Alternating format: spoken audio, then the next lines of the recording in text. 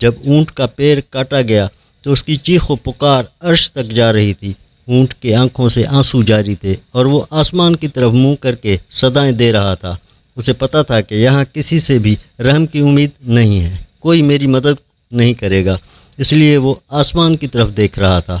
उसे मालूम है कि हकीकी मददगार सिर्फ़ वही है, मेरा रबालमीन दोस्तों, अस्सलाम वालेकुम दोस्तों। उम्मीद है कि आप सब लोग खैरियत से होंगे, मैं भी अलहमदिल्ला बिल्कुल ठीक हूँ। दोस्तों, आज की ये वीडियो बनाते हुए दिल खून के आँसू रो रहा है, क्योंकि तीन दिन पहले एक ऐसा दिल दहलाने वाला वाक़ा हुआ है, जिसने हैवानियत की सारी हदें पार कर दी हैं, जुल्म की इंतहा कर दी है।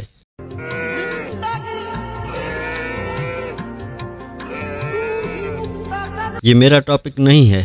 मेरा टॉपिक है लोगों को हंसाना, लेकिन इस वीडियो को देखकर आप अपने आँसू शायद न रोक पाएँ।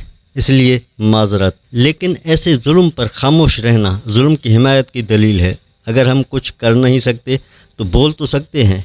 तो असल वाक़ कुछ यूँ है कि सांगढ़ ज़िले के मंगली थाने की हद में एक वडेरे की ज़मीन में एक ऊँट दाखिल हुआ। ऊँट शायद घास की तलाश में दाखिल हुआ था। तो वडेरे ने ऊँट की एक टांग कटवा दी कुल्हाड़ी की मदद से। दोस्तों, ये बताते हुए भी मेरा दिल काँप रहा है। लेकिन उस जालिम के दिल में ज़रा भी रहम ना आया। दूसरी जानब ऊँट के मालिक सूमर नामी शख्स ऊँट की कटी हुई टांग लेकर प्रेस क्लब पहुँचा और बताया कि पुलिस बासर वडेरे के ख़िलाफ़ एफआईआर दर्ज नहीं कर रही और पुलिस ने अपनी मुद्दत में नामालूम अफराद के ख़िलाफ़ मुकदमा दर्ज कर लिया है। अफसोस की बात है कि पुलिस वालों के दिल में खुदा का खौफ ही नहीं है। क्या उन्हें मरना नहीं है? और जब खुदा के हुजूर पेश होंगे तो वहाँ क्या जवाब देंगे? क्या वहाँ ये वडेरे उनकी मदद को आएँगे? वहाँ तो हर एक को अपनी जान की फ़िक्र होगी।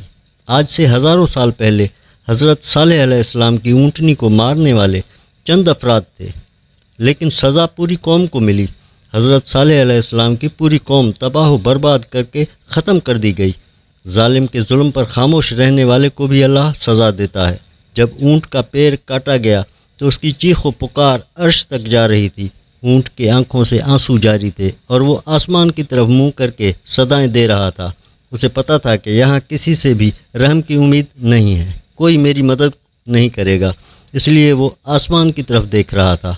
उसे मालूम है कि हकीकी मददगार सिर्फ़ वही है, मेरा रब्बुल आलमीन। दोस्तों, इस वीडियो को शेयर करो ज़्यादा से ज़्यादा, ताकि इस बेज़ुबान को इंसाफ मिल सके और ालिम अपने इबरतनाक अंजाम को पहुँच सकें।